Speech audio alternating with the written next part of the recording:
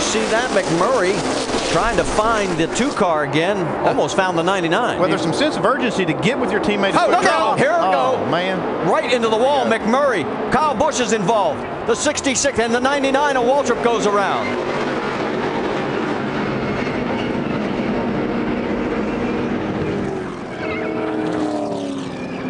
Oh, and another late hit right there with McMurray and unable to get the car stopped.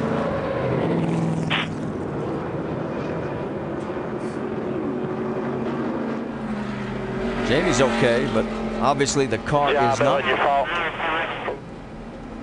We're done here, guys. A lot of good cars torn up here. Man. Here we go. It's like you say, it's just a sense of urgency. All these cars trying to get with each other, and you see some contact right there mid-pack. Looked like Bowyer was Yeah. involved in that. That looked like Kyle Busch getting into Jamie McMurray is what got all of that started. And I think he was just trying to push Jamie, but a little bit too much of a push and, and maybe at the exact wrong spot on his rear bumper. James Buescher and Justin Allgaier both slid through unscathed. Here's another look. See this, they try to go up through the middle.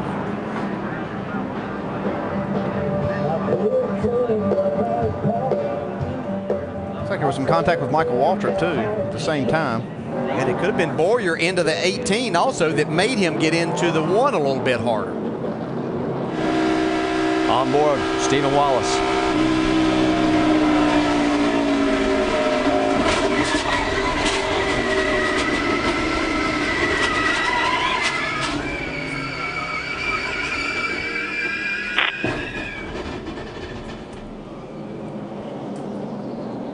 Well, Alan said it from the very beginning of the broadcast.